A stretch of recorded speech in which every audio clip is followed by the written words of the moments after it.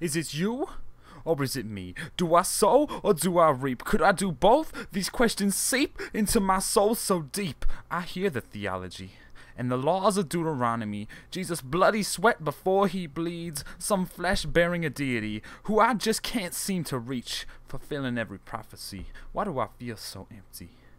What about Muslims and Buddhists? Like, who's this God who calls himself the purest? I'm caught up in confusion. These other religions, evil visions, injustice making great incisions in my heart with such precision. I am met with such derision just because I want to be a Christian. It's confusing like people make a fusion of artificial light to give themselves foresight. Wouldn't God be outright? I read the word. The wrath just seems so absurd. Maybe I never heard. Who is this spirit? He whispers. I hear him babbling confusion. How can I do this? Then I wonder, am I just stupid? But something breaks through. The whispers shut up, and I do too. Evil demands wrath. Makes sense.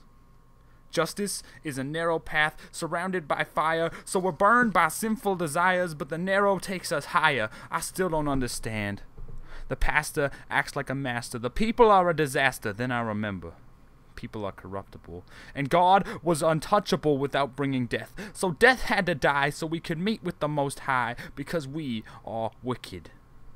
And we whipped him and we could be with him, but we'd rather be with the scriptures and forget the Spirit. It's no wonder we don't hear him when we don't even fear him, and yet he's drawing nearer.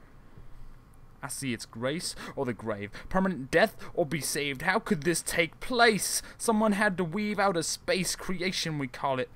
But for there to be a creation, someone had to create. I think I get it.